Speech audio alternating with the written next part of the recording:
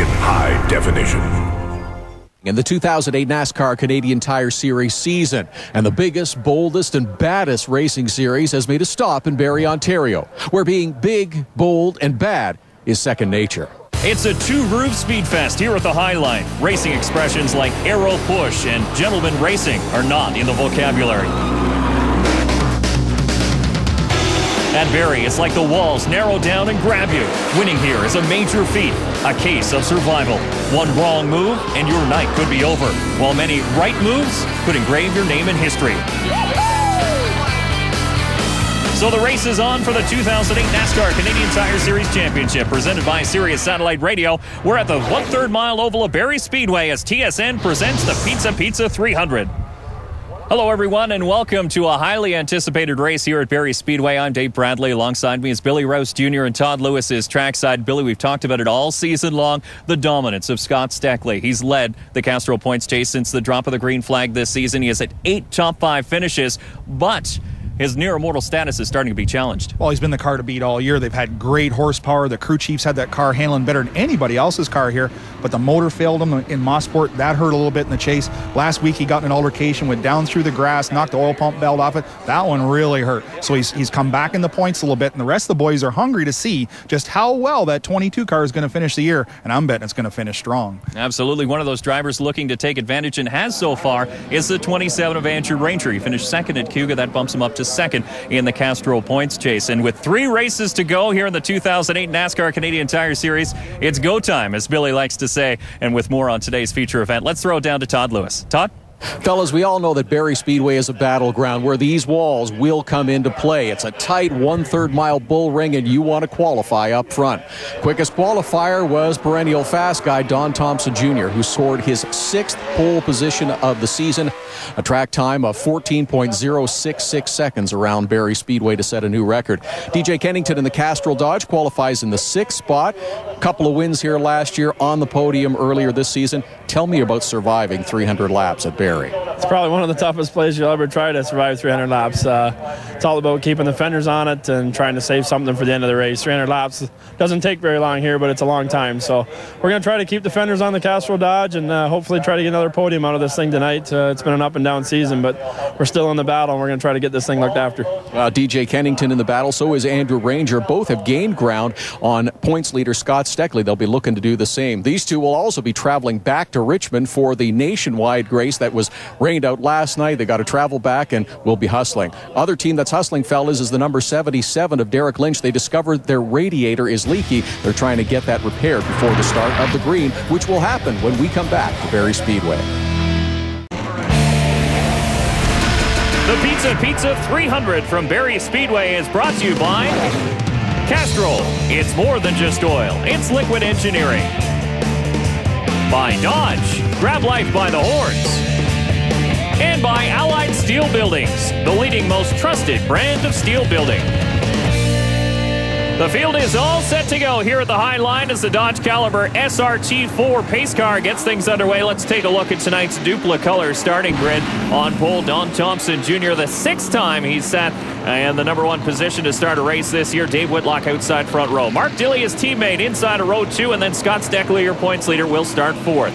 Kerry Micks in the 0-2 and DJ Kennington in the 17 make up row number three. Then Ron Beauchamp Jr. in the 16, Brad Graham in the 19 are in row number four.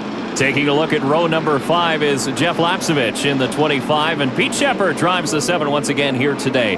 Derek Lynch is in the 77, Joey McColm in the 49. They make up row number six, and then row number seven has Doug Brown in the 10 and Kent Noon in the 18. Row number eight, J.R. Fitzpatrick way back starting spot here today in the 84, and Peter Gibbons in the one car. And row number nine has John Gaunt, Andrew Ranger, Ranger driving the 27. And the final row, the three car, Jason Hathaway in the 95, Rookie of the Year contender, Anthony Simone. Two drivers not with us today. Alex Tagliani, who's once again joined the IRL for a race in Chicago. Pete Shepard replaces him once again to Jason White at home in BC with his wife, who just gave birth to a new baby boy named Ryder. Congratulations to Jason and his wife. Let's take a look at the Allied Steel Buildings race analysis here tonight. It's 300 laps in this tight little bull ring. As you see, it's 23 degrees, and we practice in the sun, and we're going racing in the dark. The chassis setup will change. As we take a look at the onboard shot from Peter Gibbons with more on tonight's race, here's Todd Lewis. A couple of quick updates before we go green, fellas. The 25 normally driven by Jim Lapcevich. Well, it's his brother Jeff, who we've seen before behind the wheel for this one here at Barrie. And also the number 49, Joey McColm, is back behind the wheel. We've seen John Fletcher in the car. He is with the team. In fact, he's working and coaching Joey McColm. They're hoping for a better result in that number 49 team for this race. And Joey McColm cut his racing teeth here at Barrie Speedway in the late model division as you take a look at six of the onboard views that you'll see tonight. A great way of seeing the Pizza Pizza 300 here at Barrie Speedway. And Patrick O'Doherty from Pizza Pizza has the green flag in hand as the cars come out of corner four and waves, and we're underway here at Barrie Speedway. Don Thomson Jr. got a great start, but you got to think he's pretty cautious on that start, given the circumstances back at Cayuga Speedway, where he was penalized for jumping the initial start. Mark Dilley up to second spot as the 39 of Dave Whitlock bangs together with the 0-2 of Kerry Micks. And now Whitlock will take third, but here comes a tow truck in a box 22 of Scott Steckley up on the outside of the BDI 02. Down into turn three. Wow, look at that 22 go around the outside. As we talked about in the opening, crew chief and driver got the communication down pat, and that car is on a rail. Notoriously, the outside lane here at Barrie Speedway, of course, it's referred to as the high line. Some of the drivers seem to prefer that outside groove. As the cars work in, the bottom gets jammed up. Some are thinking the outside groove may be the way to get around here tonight. Well, I watched some drivers in practice, and they were giving that bottom totally away in turn three, trying to get the momentum off of. Oh, Mixie's around on the 0-2 coming off of turn four. And Micks spins to the inside, down to the exit of pit lane. He grabs the gear and gets going, no caution. Boy, he just missed that NASCAR official standing on the end of pit road there. Very close, no caution. Mixie will have to hustle. Let's have a look at the replay.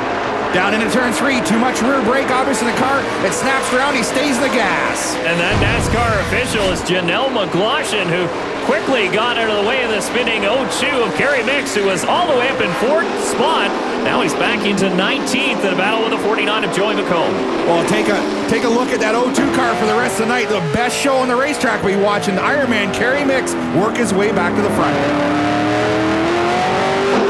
Riding on board with the Dickies Dodge of Dave Whitlock having a good run the early going here in the Pizza Pizza 300. Now we'll look back to the 25 of Jeff Lapcevich as he tries to get underneath the Mopar Dodge of Ron Beauchamp. That's a battle for seventh position.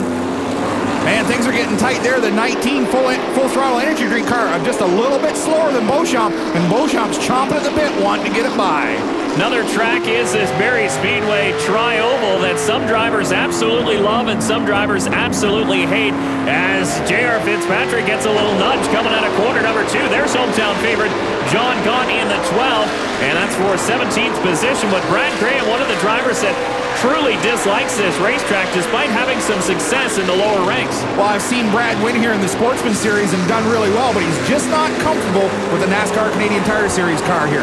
Did come off a top five, though, in the AW 300 in the uh, earlier race this year as we ride on board with your leader, Don Thomson Jr., the home hardware Chevy Monte Carlo. There's the gap back to second to Mark Dilley in the number nine Dodge. Well, you see the difference in the right front rotor on the 9 car versus the 4. Don Thomson Jr. is starting to glow with the front rotors. On board with Mark Dilley, who used to teach the Barrie Speedway driving experience here at the Speedway in a Thunder car, race-prepared Thunder car. He figures he's put about 3,500 students through that course, so he definitely knows how to get around here.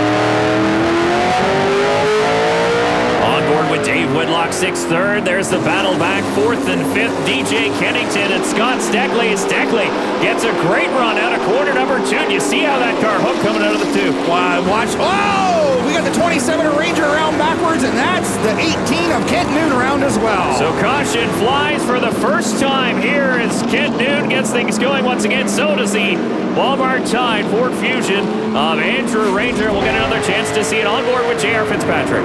Well, down into turn one and two. Whoa! The 27 just pile drives the 18. Some debris down on the speedway. Looks like it's a hood. Jason Hathaway's down pit lane. Todd?